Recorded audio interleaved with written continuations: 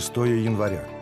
Память преподобно-мученика Иннокентия, Беды, архимандрита.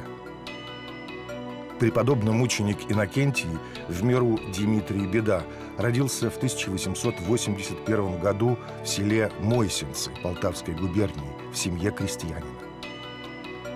Стремясь к уединению, рано поступил в монастырь. В 1908 году был пострижен в монашество и рукоположен в иеродиакона, а затем в иеромонаха. После начала Первой мировой войны иеромонах Иннокентий переехал в Тверь, где стал келейником епископа Старицкого Петра Зверева. Позже был возведен в сан архимандрита. Архимандрит Иннокентий стал ближайшим помощником архиерея Петра. 17 декабря 1926 года архимандрит Иннокентий был арестован по делу архиепископа Петра и отправлен на Соловки.